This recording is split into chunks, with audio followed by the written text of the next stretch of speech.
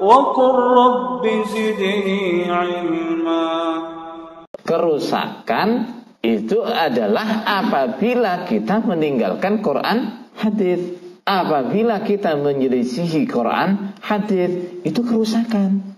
Perpecahan, ketidakrukunan itu terjadi karena apa? Karena ada salah satu dari orang yang nggak rukun itu atau dua-duanya meninggalkan Quran hadis. Itu solusinya gimana? Bisanya rukun lagi gimana? Bisanya kompak lagi gimana? Kembali pada Quran hadis. Kalau semuanya mau kembali lagi pada Quran hadis, kekompakan, kerukunan wujud lagi. Orang rukun kompak itu penting.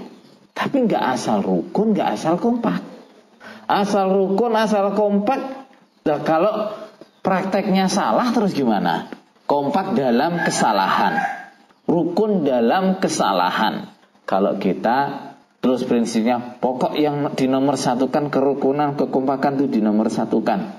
Karena dalil al akhillau yauma idzin ba'duhum li ba'din aduun illal muttaqin. Akhilla itu apa? Gak sekedar rukun, sangat rukun. Khalil. Apa artinya Khalil itu?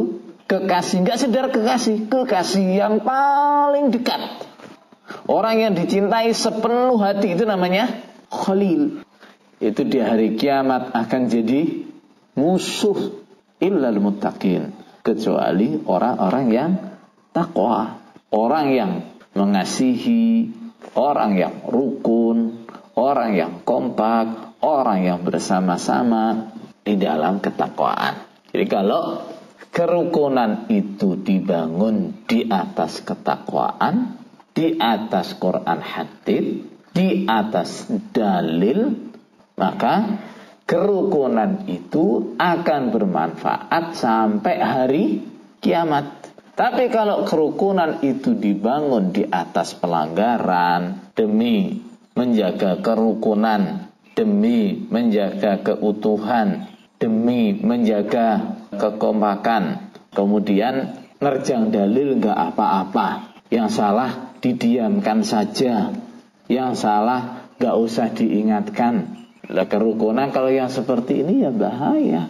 Nanti di akhirat justru saling tuding akhirnya.